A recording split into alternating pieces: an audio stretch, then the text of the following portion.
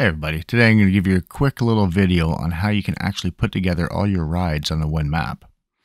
I see time and time again in Facebook groups people asking how they can take their Google timeline and export it to make one solid map of the route. So I'm going to give you a quick walkthrough of what I do and how I do it to get the results that I get. Go to your Google Maps and select Timeline. Once your timeline's opened, go through each of the days of your trip click on the specific day, and go to the icon in the bottom right hand corner that looks like a gear. Select the option to export that day to KML. Follow the steps for each of the days that you wish to bring down and merge into one map. Now that you have a KML file for each day, go to kmlmerger.com, select your files that you've just downloaded for each day, and click Merge Away. This will download one file with all your routes in it. Now point your browser at google.com slash mymaps and create a new map. Since we now have the one merged KML file, drag and drop it onto the Browse button to upload that file and load it into your map.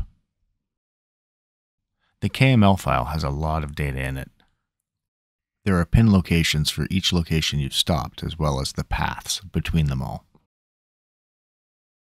One thing I start off by doing first is creating a new map layer for all the hotel stays that I stayed at. Now, this doesn't need to be just hotels. This could be anywhere you want to pin on the map for a point of interest.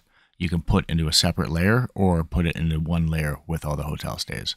There may be multiple pins for any point of interest on the map. You only need to save one and move it to the new layer. This process can be a little tedious to do, but you'll see why for the next couple of steps.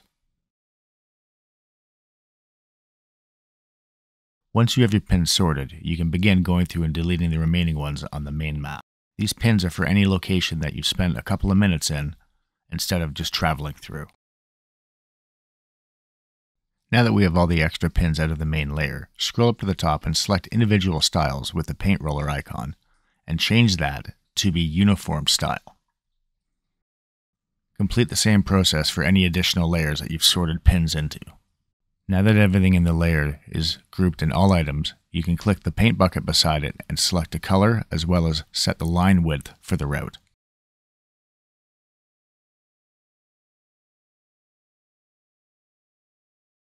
For your layers for your pins, select the paint bucket and you can change the color as well as the icon from the selected list below. Clicking more icons will give you a larger list of selectable icons you can use.